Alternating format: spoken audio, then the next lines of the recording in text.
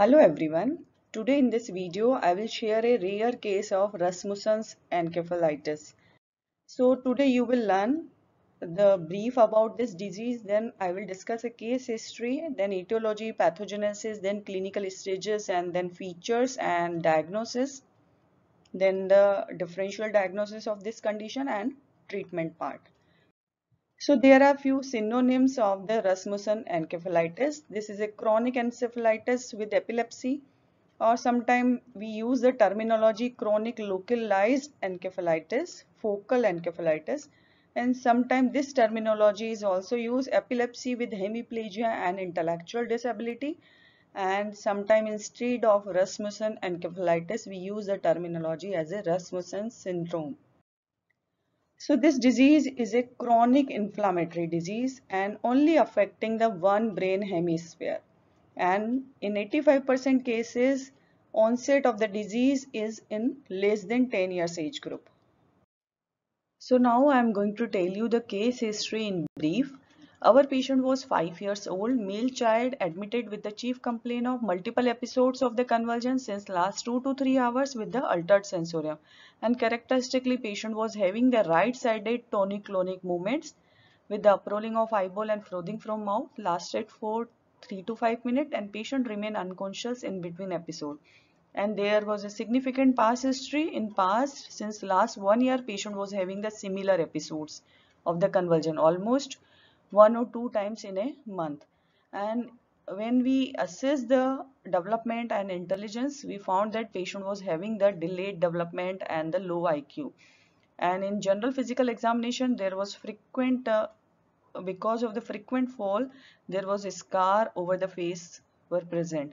And in systemic examination in especially in CNS examination we found that the patient is having the uh, in higher mental function, patient was unconscious and because the patient was unconscious at the time of admission, we cannot elicit the other part of the higher mental function. And in cranial nerve examination, it is again not able to assess at the time of admission, but later on we found cranial nerve examination were normal. And there were no signs of meningeal irritation and in motor system we found that the patient was having the hypertonic upper and lower limb on right side while the normal on the left side. And also the exaggerated deep tendon reflex were present on the right side of the body. And sensory examination not able to elicit because the patient was not very cooperative. So this is about the CNS examination. So now I further proceed for this case. exact etiology of the Rasmussen encephalitis is unknown and few propose that it may be autoimmune encephalitis as they found that antibodies against the GLUR3 subunit of the AMP receptors in few patients and also under the microscope they found that antibodies are there and few think that it may be because of some unidentified infection example influenza measles and cytomegalovirus as a triggered and which lead to the Rasmussen encephalitis. Now in the pathogenesis, it is similar to the viral encephalitis in this lymphocyte around the round cell and diffuse proliferation of the microglia occur. Later on, spongiform degeneration and cortical atrophy set in.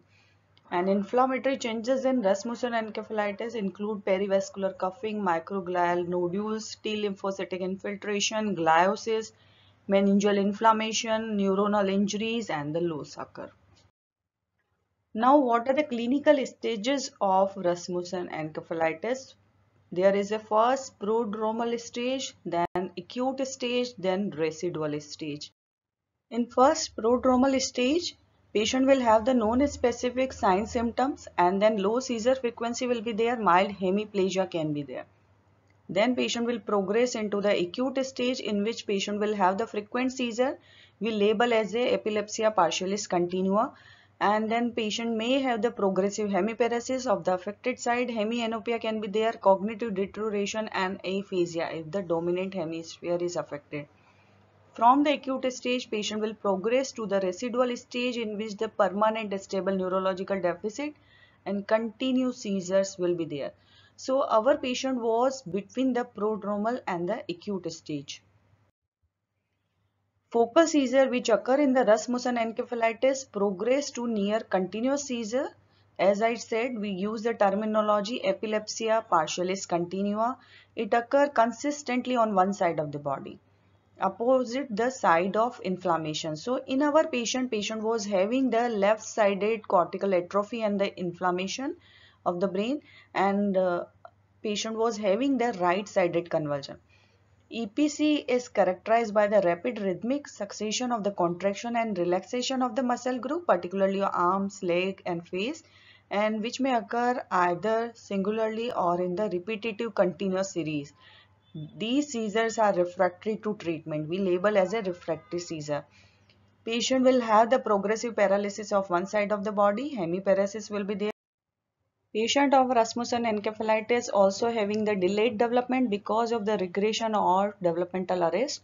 Patient will have the confusion, disorientation and deterioration of the intellectual ability. Dementia will be there. And in 50% cases, onset preceded by the inflammatory episode. Example, URI, otitis media in last 6 months. Now how will you diagnose? By the detailed patient history and the clinical examination and complete neurological evaluation by the EEG, CT and MRI brain. CT brain in the Rasmussen encephalitis in early stage remain normal while in the later stage cortical atrophy can be seen in the CT brain. That's why we did not perform the CT brain in our case and in MRI brain of the our case in this uh, picture you can see this is the MRI brain of the our patient. And in the MRI T1 image unilateral cortical atrophy with ex vacuo ventricular dilatation is seen. In MRI T2 hyperintense signal areas in the affected hemisphere can be seen. And in MRI DWI ADC restricted diffusion may be seen in altered signal areas. So in this MRI picture this is MRI T2. In this you can see the diffuse left hemisphere hyperintensity is there and also you can see the dilated left lateral ventricle. We label the terminology ex vacuo dilatation whenever there is a dilatation because of the cerebral atrophy not because of the hydrocephalus or not because of the direct dilatation of the ventricle due to the obstruction. So because of the cortical atrophy, this left lateral ventricle is uh, looks dilated. So we use the terminology ex vacuo for this. In this image you can see the left cerebral sulci are prominent suggesting the volume loss due to the atrophy. So these sulci are prominent and cortex is atrophied and in this image you can see the dilated left lateral ventricle and this is the prominent cerebral fissure is there because of the cortical atrophy. So these are the characteristic and while the right side brain is totally normal only on affected side left side unilateral cortical atrophy and unilateral ventricular dilatation. It is characteristic of Rasmussen encephalitis in which patient will have the unilateral inflammation of the brain and unilateral cortical atrophy and unilateral lateral ventricle dilatation. And in our case in EEG finding abnormal sleep EEG and it's showing the left frontoparietal slowing. Now the few differential diagnoses, especially radiological differential diagnoses are Dyke-Davidoff Masson syndrome, Sturge-Weber syndrome, hemimegalencephaly. While the clinical differentiation, it may be uh, confusing with the some neurodegenerative disorder, but in neurodegenerative disorder, patient will have the generalized finding. And sometimes we may confuse with the autoimmune encephalitis and sometimes it may be confusing with the some inborn error of metabolism.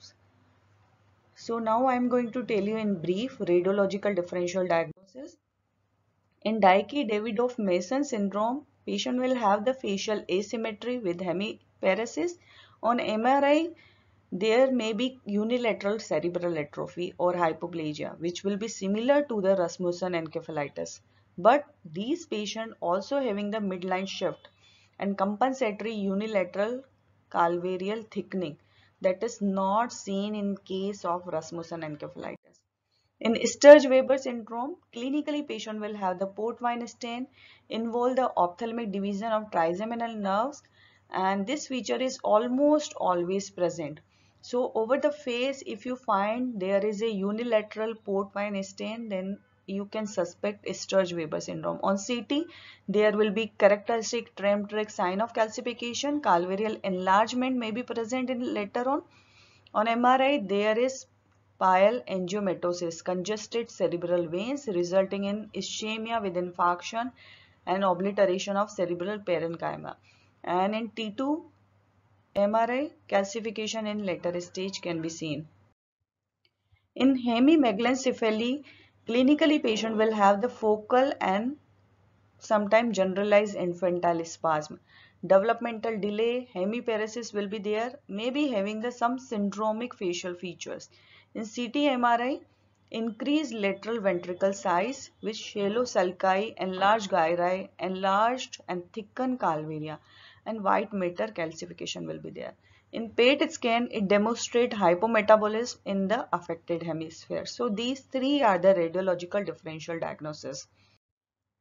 Now the treatment is very limited for the Rasmussen encephalitis. Mostly treatment is symptomatic and supportive we have to start the anticonvulsant to treat the seizure. There is some indication of the steroid. We can give the steroid either injectable methylprednisolone or we can give the prednisolone oral tablets also for a short period of time and we have to taper on but its role is little bit doubtful. We can use the immunoglobulin IVIG for this condition and functional hemispherectomy is uh, basically the definitive treatment. So this is all about the case of Rasmussen encephalitis. Thank you so much.